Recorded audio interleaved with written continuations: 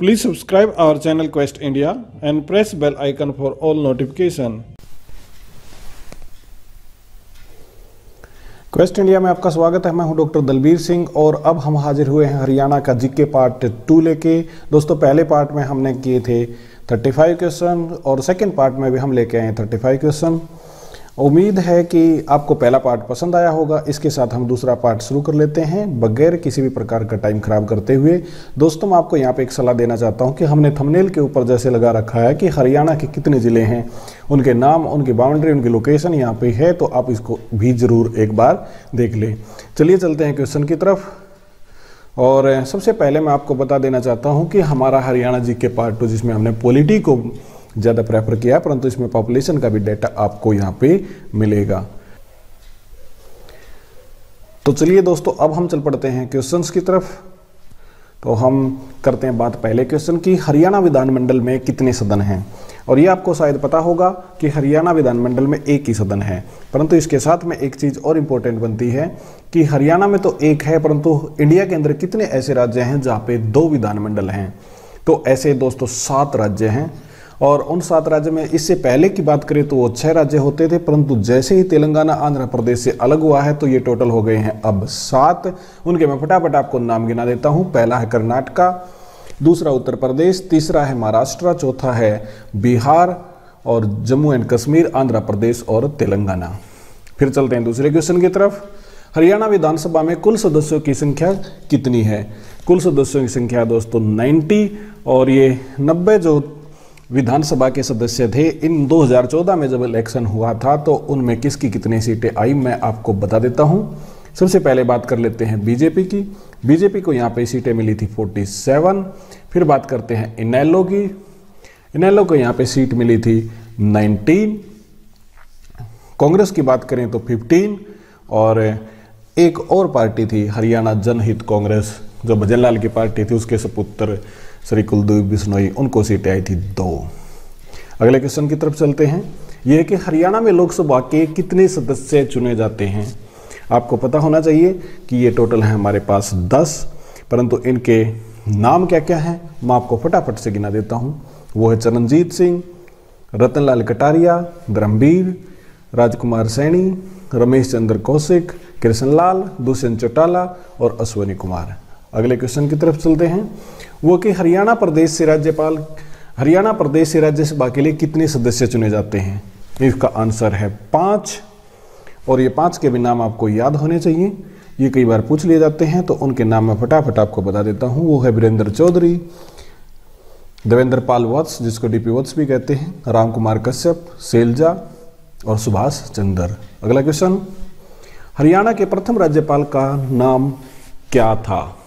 इसका नाम था दोस्तों धर्मवीर परंतु आपको दूसरे का भी नाम याद रखना चाहिए कि दूसरे का नाम क्या था और दूसरे का नाम था वीरेंद्र नारायण और चक्कर भारती जिसको कहते हैं वीरेंद्र नारायण चक्कर भारती ये था इसका आंसर। अगले क्वेश्चन की तरफ़ चलते हैं। ये कि हरियाणा के प्रथम मुख्यमंत्री का नाम क्या था? पंडित भगवत दयाल शर्मा। इसके साथ में आपको मैं एक चीज़ और बता दूँ कि सबसे ज़्यादा कार्यकाल किस सीएम का रहा है? और सबसे ज़्यादा कार्यकाल की बात करें तो ये रहा है चौधरी बंसी लाल का, जो 12 साल था। इतना लंबा कार्यकाल और किसी सीएम का नहीं रहा है। अगले क्वेश्चन को देखते हैं। वो है कि हरियाणा के प्रथम एडवोकेट जनरल का नाम क्या था? और हरियाणा का प्रथम एडवोकेट जनरल था आनंद बाबू स्वरूप। परंतु आज के दिन कौन सा है? ये भी बहुत इंपॉर्टेंट क्वेश्चन है। और आज के दिन है बलदेव राज महाजन, हरियाणा का प्रथम हरियाणा का एडवोकेट जनरल अगले क्वेश्चन की बात करते हैं। वो कि हरियाणा में मंडलों की संख्या कितनी है? अब ये इंपॉर्टेंट क्वेश्चन बनता है कि मंडलों की संख्या कितनी है? टोटल आपको पता होना चाहिए कि हरियाणा के अंदर जो मंडल हैं, वो छः हैं। और वो कौन कौन से हैं? उनके नाम भी आपको पता होना चाहिए, परंतु अगला क्वेश्चन हमारा उसी से रिलेटेड है। तो देख लेते हैं, हरियाणा के मंडलों के नाम बताइए। और इसका आंसर है अम्बाला हिसार, करनाल रोहतक, गुरुग्राम, ये सब आप अपनी स्क्रीन पे देख रहे हैं और फरीदाबाद। ये छः हमारे मंडलों की संख्या है। अगले क्वेश्चन की हम बात कर लेते हैं वह question number ten Haryana Pradesh के कुल कितने ज़िले हैं? दोस्तों, ये आपको पता होना चाहिए कि टोटल ज़िले कितने हैं। 22 ज़िले हैं हरियाणा के अंदर। मैंने बताया था आपको कि थंबनेल के ऊपर भी आप इसका देख लीजिए और देखने के बाद आपको उनके नाम याद होने चाहिए, उनकी पहचान भी होनी चाहिए, तब ज़्यादा बेहतर होता है। फिर भी एक बार दोबारा से जाके आप थंबनेल पे इसको देख सकते हैं। अगले क्वेश्चन की तरफ़ चलते हैं। अगला क्वेश्चन है हमारा, जिसको अभी स्क्रीन पे हम हाजिर करते हैं, वो कि हरियाणा प्रदेश का सबसे अंतिम जिला कौन सा था? कौन सा है? इसका नाम है चरखी दादरी। और आपको मैं एक बात और बता दूँ, जब हरियाणा बना था, उस समय पे टोटल ज़िले कितने थे? वो थे सात। और एक बात और बता दूँ कि सातवां जो जिला था, इस समय पे वो था जींद। तो कई बार इस प्रकार का क्वेश्चन पूछ लिया जाता है। नेक्स्ट क्वेश्चन है, हरियाणा प्रदेश में कुल कितनी तहसील हैं? इसका आंसर है 93 अगला क्वेश्चन है हरियाणा प्रदेश में कुल कितनी उप तहसील हैं और इसका आंसर है 50 नेक्स्ट क्वेश्चन हरियाणा राज्य में कुल कितने ब्लॉक हैं? हरियाणा राज्य में ब्लॉक की संख्या है 140 परंतु यहाँ पे एक चीज़ मुझे और ध्यान में आती है और मैं आपको बताना चाहता हूँ कि हरियाणा के अंदर ब्लॉक है 140 परंतु हरियाणा के अंदर सिटीज़ कितने हैं? ये हैं 154 टोटल हैं 154 नेक्स्ट क्वेश्चन हरियाणा राज्य में कुल गाँव की संख्या कितनी है?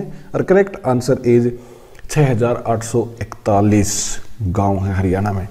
मैं आपको एक चीज़ और बता देता हूँ यहाँ पे कि टोटल गाँव इतने हैं, परंतु हरियाणा के अंदर जो पंचायतों की संख्या है, वो है बैसठ सौ बारह। अब इसे क्या समझें? कई सारे गाँव ऐसे हैं कि जहाँ पे पंचायत नहीं है, यानी बड़े गाँव की पंचायत ओवर रूल करती है छोटे गाँव को। इसलिए यहाँ पे पंचायत की संख्या कम है। परंतु एक बात और आपको याद रखनी होगी।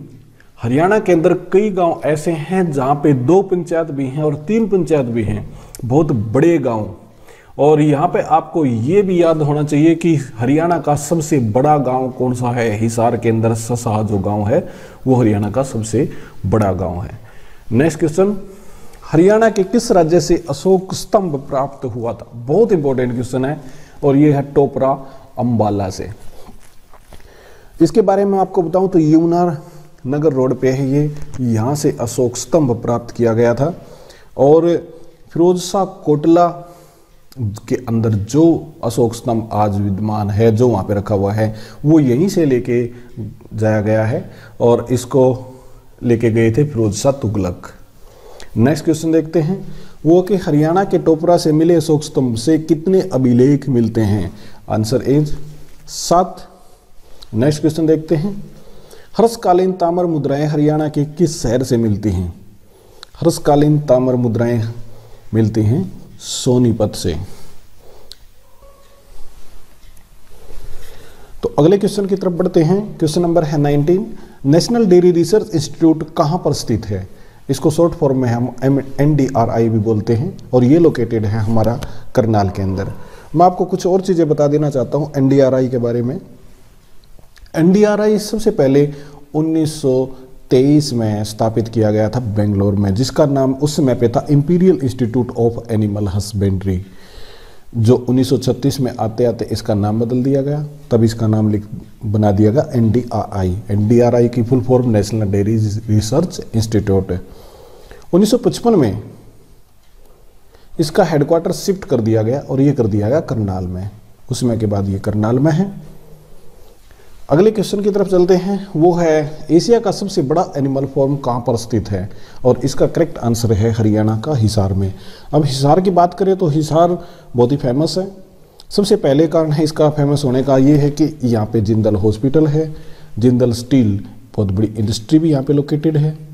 इसके अलावा, मैं आपको एक चीज़ और बता देना चाहता हूँ। वो है कि फिरोज शाह तुगलक ने इस शहर को बसाया था तेरह सौ चौवन में। फिरोज तुगलक ने फतेहाबाद भी बसाया था, जो उसके पुत्र थे फतेहाबाद या फतेहगढ़ कह लें, कि उसके बेटे का नाम था फतेह खान, जिसके कारण वो फ़ेमस आता अगला क्वेश्चन की तरफ़ चलते हैं।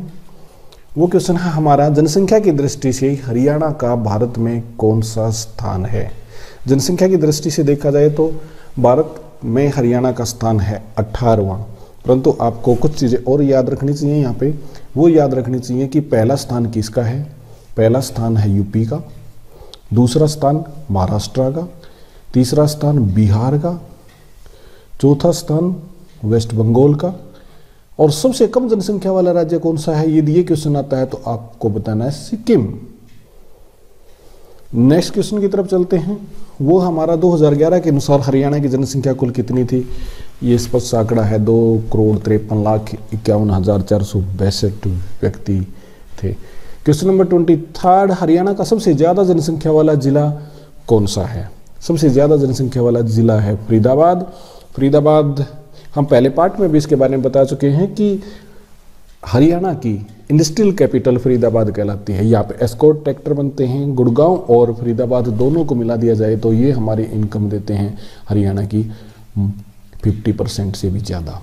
यानी टैक्स यहाँ से 50 परसेंट से भी ज़्यादा आता है पंजाब सॉरी गुरुग्राम और फरीदाबाद से। अगला क्वेश्चन हरियाणा राज्य का सबसे कम जनसंख्या वाला जिला कौन सा है? सबसे कम जनसंख्या वाले ज़िले की बात करें तो वो है पंचकुला। अब पंचकुला को बता देता हूँ, पंचकुला प्लान सिटी है। पंचकुला का नाम पंचकुला क्यों है? ऐसा माना जाता है कि पंच से है फाई और आगे है कैनाल, यानी पंचकुला पाँच नहरों का शहर, इसलिए इसको पंचकुला का नाम दिया जाता है। तो हमारा अगला क्वेश्चन है, हरियाणा का सबसे अधिक जनसंख्या वृद्धि वाला जिला कौन सा है? और ये इस ज़िले की बात करें तो ये है गुरुग्राम।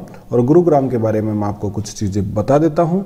गुरुग्राम क्या है? इसको ये माना जाता है कि ये एक गाँव था गुरु द्रोणाचार्य का, महाभारतकालीन गुरु द्रोणाचार्य की बात मैं कर रहा हूँ। सिटी ऑफ़ स्क्रैपर ये बहुत बहुत ऊँची बिल्डिंगें यहाँ बिल्डिंगें यहाँ पे हैं। जैसे डीएलएफ की बात करें, मारुति यहाँ पे है, मारुति कंपनी, जो इंडिया के अंदर लगभग 52 परसेंट अपनी कारें बेच देती है। इसके अलावा एनएसजी कमांडो यहाँ पे हैं। एनएसजी कमांडो की बात करें तो जो मानेसर में इसका सेंटर है, पहला सेंटर मानेसर में था, अब तो ये चार जगह पे है।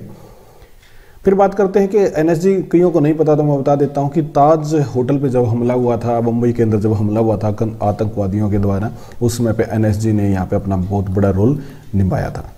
अगले क्वेश्चन की तरफ़ चलते हैं, वो है कि हरियाणा राज्य का सबसे न्यूनतम जनसंख्या वृद्धि वाला जिला कौन सा है? आंसर है इसका झज्जर। और झज्जर की बात करें तो ये 15 जुलाई उन्नीस सौ सतहत्तर को अपने एग्जिस्टेंस में आया था, जो और इसके साथ मैं आपको बता दूँ कि झज्जर के अंदर लार्जेस्ट बस स्टेशन है। लगभग अठतीस एकड़ अपनी जगह को लिए हुए हैं। अगले क्वेश्चन की बात कर लेते हैं, वो है, हरियाणा का जनसंख्या घनत्व कितना है? हरियाणा का जनसंख्या घनत्व है पाँच व्यक्ति प्रति वर्ग किलोमीटर। यहाँ पे दो चीज़ें आपको समझनी चाहिए। एक तो होता है घनत्व, जिसको इंग्लिश में कहते हैं डेंसिटी और दूसरा होता है डिस्ट्रीब्यूशन ऑफ़ द पॉपुलेशन दोनों में डिफरेंस होता है। डेंसिटी होता है कि एक वर्ग किलोमीटर के अंदर एवरेज लोग कितने रहते हैं? एक वर्ग किलोमीटर के अंदर। डिस्ट्रीब्यूशन में ये होता है कि कंसंट्रेशन ऑफ़ द पॉपुलेशन कहाँ है? उदाहरण के तौर पे मैं बताऊँ, हम बात कर लेते हैं गुरुग्राम की। गुरुग्राम शहर को देखें, उस ज़िले के अंदर आने वाली जो ज़मीन है, उसको देखिए दोनों में फ़र्क हो जाएगा। शहर के अंदर पॉपुलेशन कंसंट्रेशन ज़्यादा है, पर खेतों में थोड़ा रहते हैं लोग। इसलिए पॉपुलेशन डेंसिटी और डिस्ट्रीब्यूशन में थोड़ा फ़र्क होता है, आपको ये समझना होगा। अगला क्वेश्चन है, हरियाणा का लिंगानुपात कितना है? हरियाणा का लिंगानुपात है आठ महिलाएँ प्रति हज़ार पुरुष। पर यहाँ पे जो बहुत इंपॉर्टेंट बात वो ये है कि हरियाणा के अंदर पूरे देश में ये लोएस्ट है। सबसे कम सेक्स रेशो हरियाणा में ये मैं यूटीज की बात नहीं कर रहा हूँ, यहाँ पे स्टेट्स की बात कर रहा हूँ, और स्टेट के हिसाब से देखा जाए तो हरियाणा लोएस्ट है। नेक्स्ट क्वेश्चन पे चलते हैं। वो कि हरियाणा का सबसे ज़्यादा लिंगानुपात वाला जिला कौन सा है? ये भी ज़रूरी है, मेवात। और मेवात के अंदर मैं आपको बता दूँ कि मेवात के अंदर कितना है भाई जनसंख्या? लिंगानुपात सेक्स रेशियो कितना है? तो ये है 907 महिलाएँ प्रति हज़ार पुरुष। अगला क्वेश्चन है, हरियाणा का सबसे कम लिंगानुपात वाला जिला कौन सा है? और ये है गुरुग्राम और सोनीपत, दोनों को मिला के। मैं सोनीपत की बात आपको बता देता हूँ कि सोनीपत, जैसे हम पहले भी इसकी बात कर चुके हैं, सोनीपत का पुराना नाम था, स्वर्ण प्रस्ता, पांडवों ने इसका नाम दिया था।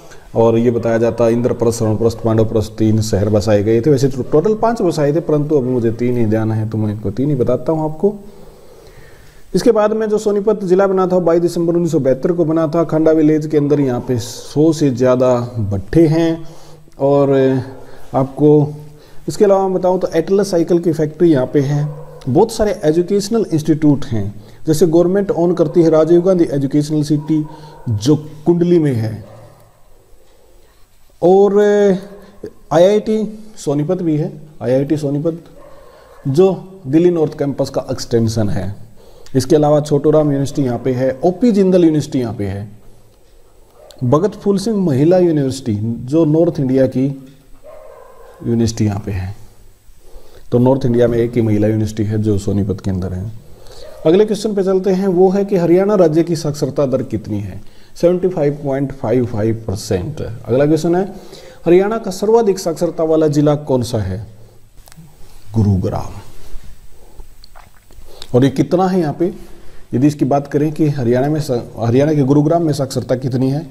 84.69 परसेंट। पता नहीं कैसे लिख रहा है मेरा पेन।